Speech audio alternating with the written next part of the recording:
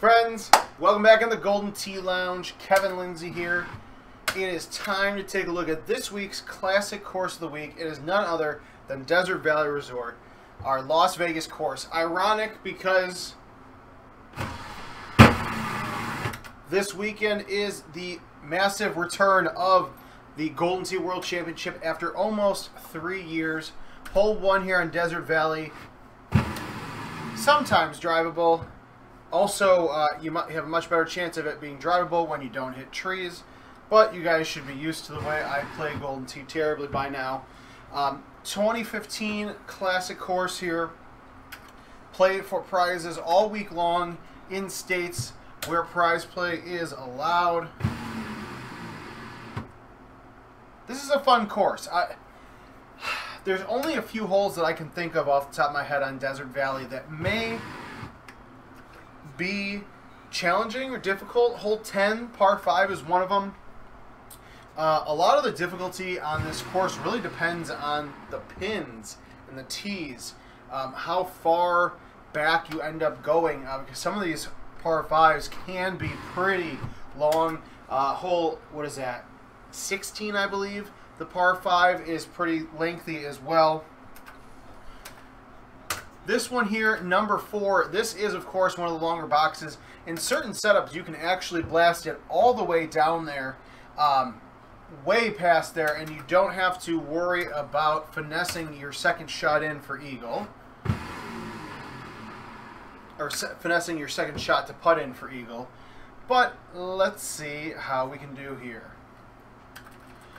So 334, not too bad here.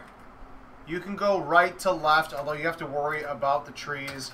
If you just do this, go left to right, you're going to end up with a bit of a putt. That's okay.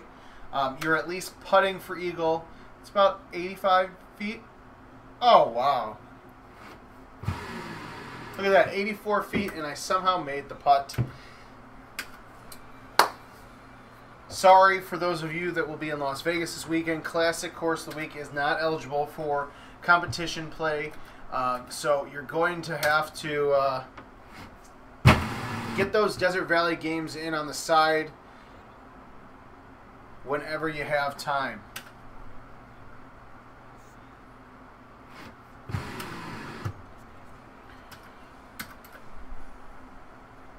We are playing in production, so you may see a few familiar names and faces. Um, I just think it's so much more fun that way. Because in the off chance I actually beat a top guy, I can say, ha, finally gotcha. Um, but honestly, you could get out there, goldentee.com slash locations to find a game near you. Uh, Jeff Harlow, former world champion, with uh, a three better after six holes, if I'm looking at that correctly. Uh, wow. For a guy who's not going to be able to make it out to Vegas, he's playing pretty damn well the week of Worlds. So maybe we can convince Jeff Harlow um, to make his way out to Vegas. Plenty of spots still open. Oh, that was actually a pretty nifty shot.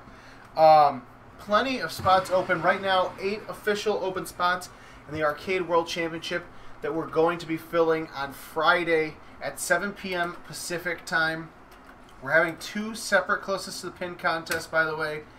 We're going to have one for the players that are already qualified there, and then a separate one for the non-qualified players. So if you're trying to get in one of those World Championship qualifying spots, you don't have to worry about facing Andy Haas or Paul Luna or Joe Massar, Evan Goss, any of those people. Uh, you just get to compete against the other 50 to 100 or more players that make that trek to Vegas for the World Championship.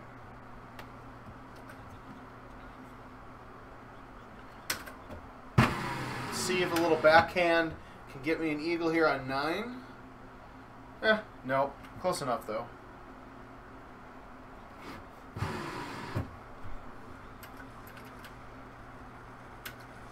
All right, 14 after 9, not too shabby uh, unless you see Jeff Harlow with crazy three better after 9. Although I didn't see if he was still three better, but it's Jeff Harlow, so I have to imagine he is. Hole 10 here, this is that par 5 I was talking about. Not really a tricky look here. Um, actually, if you get to that last spot, you usually will get lined up pretty well. You just have to throw it out there to the left to avoid those big trees. Having the 10 mile an hour wind blowing to the right also uh, helps that profusely.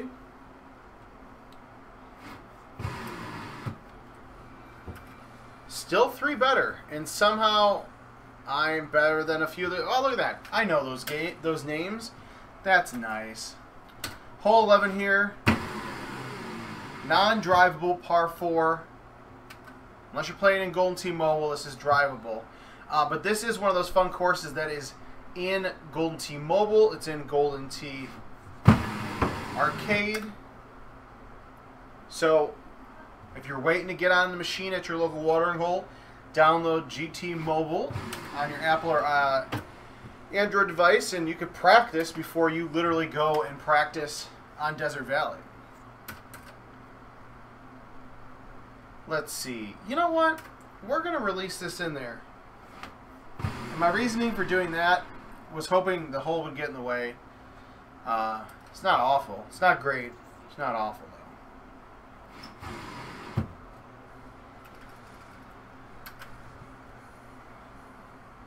Alright, hole 13. This is where things start to get dicey. Unfortunately, we are farther back in the tee box than I was hoping. Wind is blowing left to right, which does us no good. There are times where you can just blow past here and not even have to mess with that middle area of the fairway. I'm just going to put a little release on it. The bigger concern here is not necessarily me getting there on there and two, although that can happen. It's this uh, pin position. So I'm going to just go ahead, put backspin my 10 after your driver. I'm going to throw it out purposely to the right.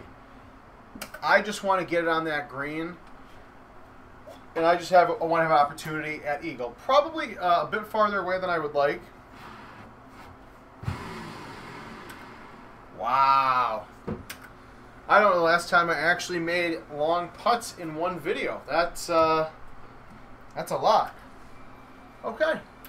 All right, I'll take it. 111 foot putt. That's all you need there on hole 13 to get the eagle. Hole 14, drivable par 4. You can go to the right-hand side here. I've never done it, uh, at least not successfully or well. So I'm just going to go ahead. I'm going to hit a 10 after degree driver with a little bite. I did not get that out far enough somehow. So it looks like we're going to be chipping here.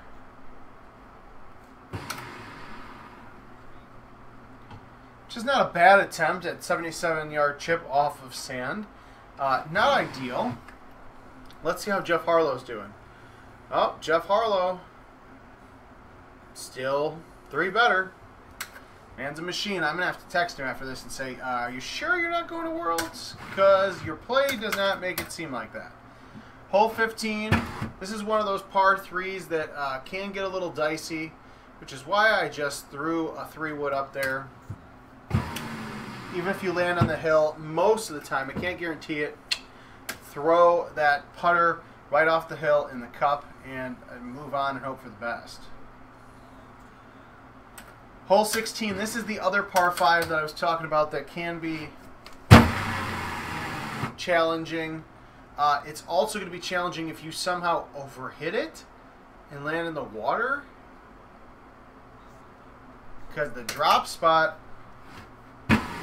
is pretty awful. We're going to take our birdie with pride, though. Can't be mad at Jim Z. Just mad at apparently having muscles that I thought I forgot about.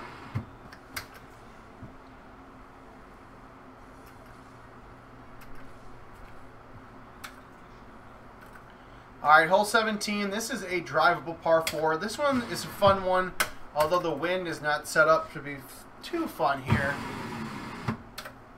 I was hoping for more 16 mile an hour wind actually blowing to the left because I am using grabbers. No, no wind cutting balls here, so I'm not really sure why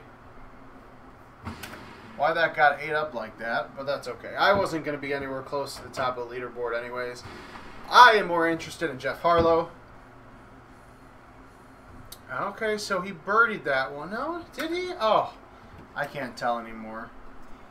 And then we go to hole 18, the famous drivable par, uh, 18th hole. Oh, I thought I had a shot. I think, I don't know if Andy Haas did that with a driver. Somebody aced this hole with a driver. Uh, my score already is terrible. So, that's all right. We wanted to have fun with it. GoldenTee.com slash locations to find a 2021 game near you. Get out there and play our Las Vegas course, Desert Valley Resort. And join us back here for more Golden Tee action all week long as we head to Las Vegas for the Golden Tee Arcade and Mobile World Championships. Thanks for joining. We'll see you guys soon.